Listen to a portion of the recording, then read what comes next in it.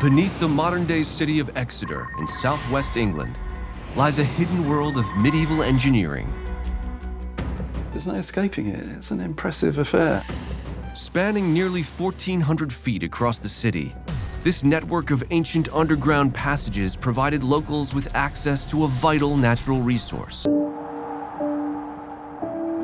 Buried 20 feet under the bustling streets of Exeter are the remains of a network of tunnels with a fascinating story to tell.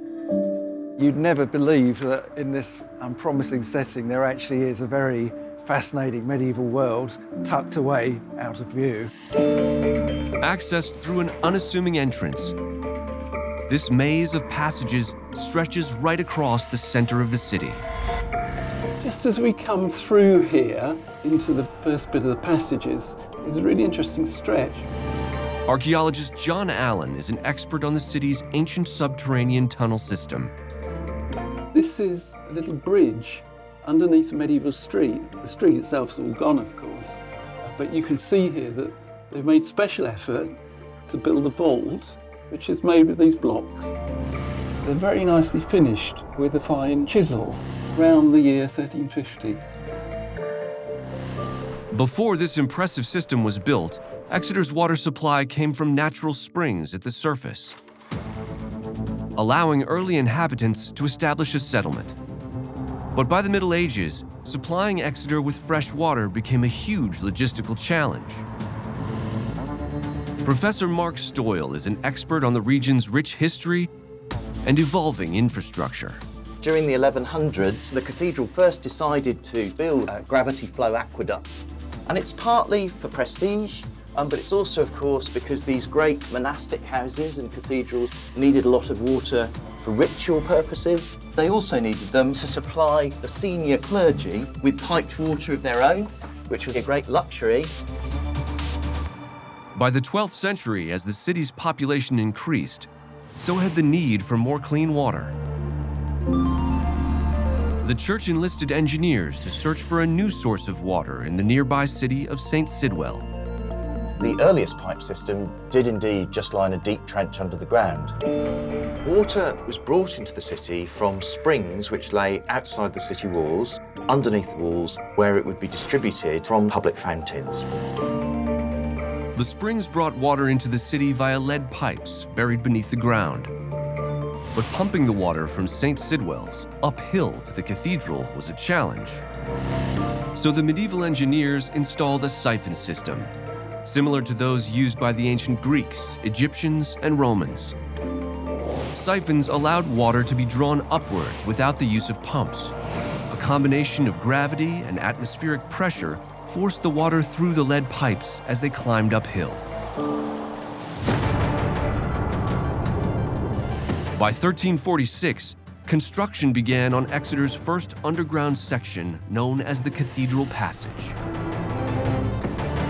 This length of passage was built by cut and cover. You'd first dig the trench and then you'd line the bottom of it uh, with stone and build up walls in the bottom then you'd need to build a vault, which you'd do with wooden centring. And once that's set, you'd then backfill. These passageways were carefully constructed. First, lead pipes were laid along the floor. Then the space was covered with vaulting stones and filled in. Manholes were also constructed along the route, allowing easy access for the medieval plumbers.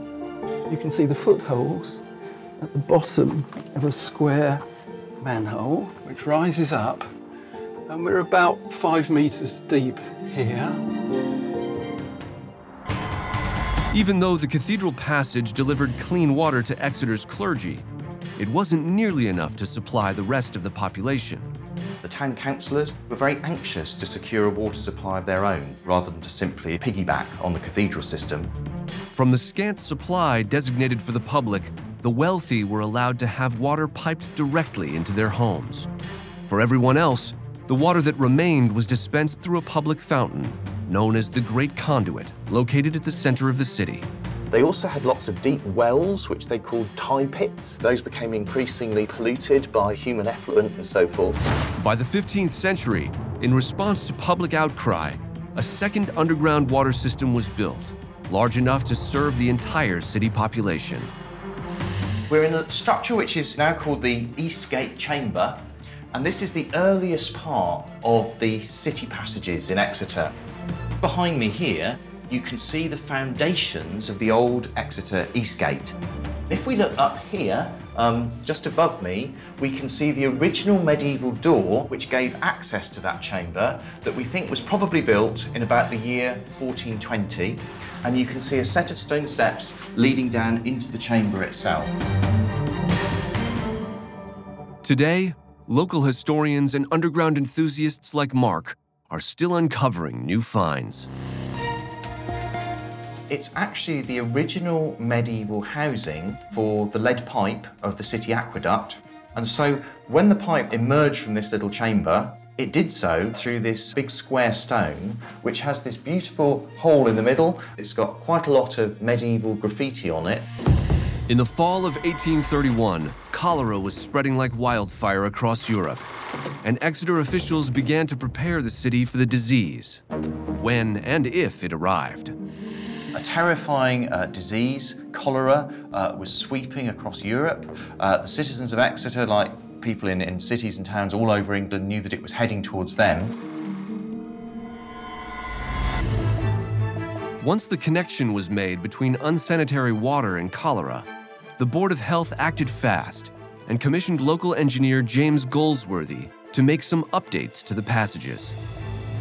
Goldsworthy went right back uh, to basics.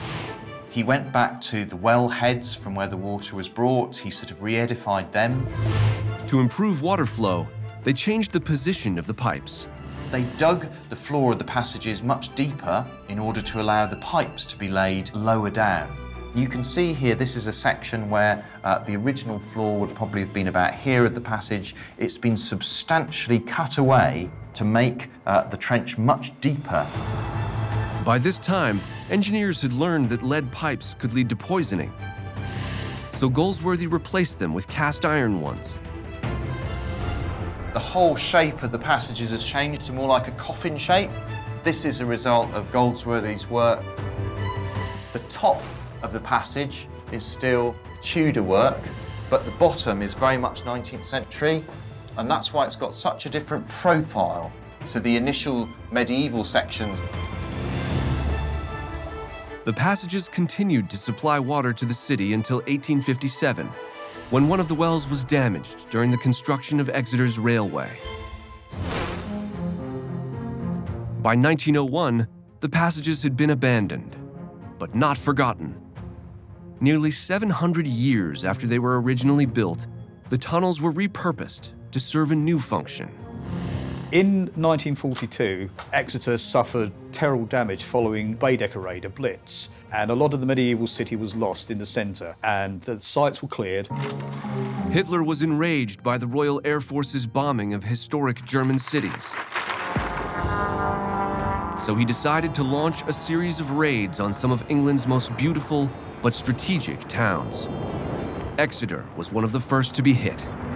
The two nights of intensive bombing left the city devastated. Some had taken shelter in the tunnels, but above ground the city was annihilated and 265 people were killed. Following this fateful night, much of the city was rebuilt, and by the end of the war, the underground tunnel network was rediscovered.